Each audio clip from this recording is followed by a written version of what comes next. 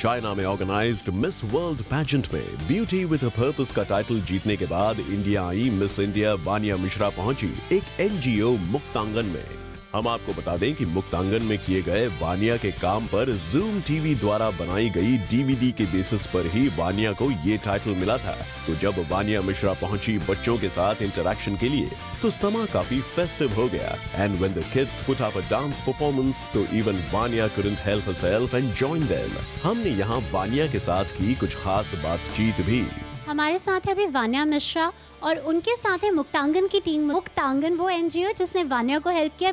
Beauty with purpose का title win करने में वान्या वेलकम टू जू Thank you so much. Like when you landed to India after bagging the title, I've heard Muktangan team was right there at the airport to cheer you up. Tell us something about it. Yes, uh, the moment I stepped on, uh, there was my team, uh, the Times team, and little children, and uh, Kinjal was there, and Miss Usha was there to receive me, and I think it felt so special. I had. Uh, I got a bit emotional because I had come from uh, such a big thing, and uh, suddenly when I saw people who are so proud of me, even though I did not win, but I won for them. I saw you received a very warm welcome from the kids. Tell us your emotions when you were, what you went through when you saw the kids performing and the gifts that they made for you.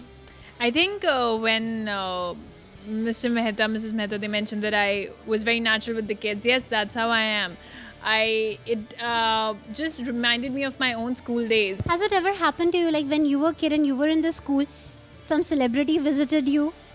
Uh, no, not really. Thank you so much for talking with us. So much. Thank you so much. Hi, this is Supreet. Follow the Zoom TV channel on Daily Motion and zoom into fresh Bollywood news and entertainment. Just visit www.dailymotion.com slash zoomtv.